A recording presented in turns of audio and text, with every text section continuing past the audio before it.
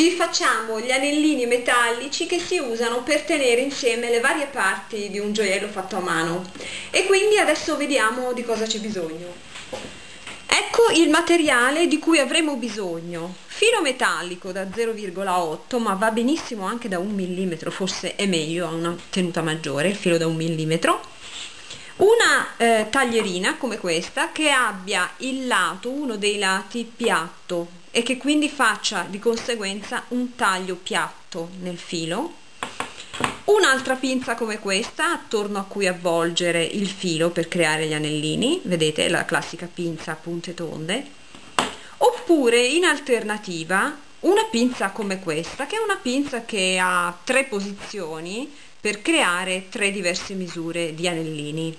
Oppure ancora potete utilizzare un qualsiasi oggetto di uso quotidiano che abbia la dimensione e la forma che, che voi preferite, per esempio questo è il manico di un uncinetto. Un'occhiata da vicino alle pinze, vedete? Queste hanno un lato che taglia di netto, che taglia cioè a 90 gradi, vedete, di piatto, cioè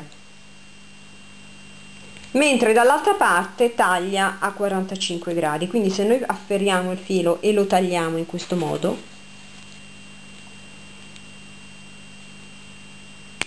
otterremo un taglio, un filo appuntito.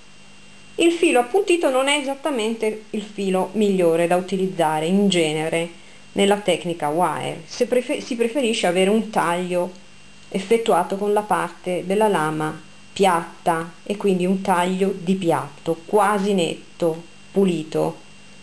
Ci sono vari tipi di taglierine, anche taglierine che hanno una doppia lama, che fanno un doppio taglio diritto sia di qua che di qua e serve per chi lavora molto, ha veramente tanti anellini da, crea- da tagliare o fili da tagliare. Potreste trovarle in commercio, non molto facilmente, ma ci sono. E comunque una pinza così va benissimo. Queste sono le classiche pinze a punte tonde, questa è una pinza relativamente comoda se l'avete già, altrimenti se non avete pinze così, un qualsiasi oggetto di uso quotidiano a costo zero. Taglio un pezzo di filo come questo per esempio, afferro un'estremità con le pinze, con le ganasce delle pinze, in un punto preciso, io per esempio farò anellini abbastanza grandi, quindi prendo in considerazione questo, quest'ultima parte delle ganasce, afferro quindi il filo e comincio a muovere la mano che tiene la pinza in questa maniera, facendo scorrere il filo. Vedete? Il filo iniziale rimane sempre in questa posizione in modo da avere anellini della stessa grandezza, cioè non mi sposto qui, vedete? Rimango in questa posizione e continuo a fare scivolare il filo muovendo solo le pinze e non la mano vedete così in questo modo. Faccio un certo numero di anelli quelli che mi servono e poi mi fermo. Abbiamo fatto una specie di elica vedete? Ora ricaveremo gli anellini. Tagliamo un pezzo tagliamo qui e vediamo da vicino come si tagliano gli anellini. Ecco l'elica che ho formato vedete?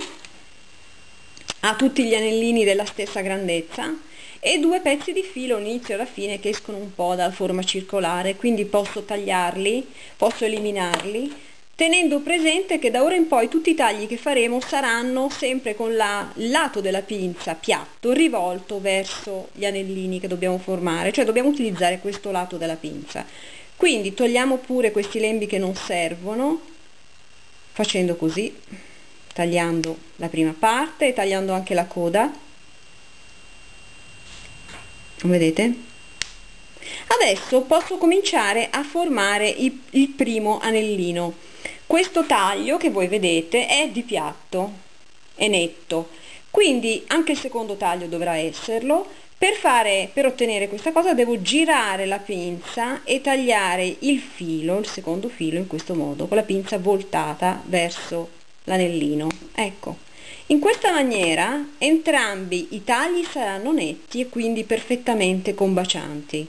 Ora questo taglio naturalmente non è netto, non è di piatto perché la pinza era rivolta in questo modo, quindi lo rifilo di poco, lo rifilo quello che basta per avere un taglio piatto appunto, dopodiché ripeto quello che ho fatto finora, giro la pinza, taglio il prossimo anellino. Continuo in questa maniera, rifilo, vedete taglio quindi piatto, giro la pinza e taglio anche il prossimo anello. Ups, ecco qua, volevo farvi vedere l'anellino, sperando che si veda abbastanza, che i due tagli combaciano. Di nuovo prendo l'elica, insomma, e continuo a tagliare, adesso faccio un po' più fatica perché per mostrare alla camera naturalmente devo un po' stortarmi, rifilo e taglio. Rifilo e taglio. Sono arrivata quasi alla fine ok? Rifilo giro la pinza e taglio ecco qui. Quello che avanza quello che naturalmente non è perfettamente chiuso lo possiamo togliere possiamo eliminarlo dalla serie degli anellini. Ecco gli anellini appena formati. Spero che il tutorial vi sia piaciuto spero che vi possa tornare utile. Ciao alla prossima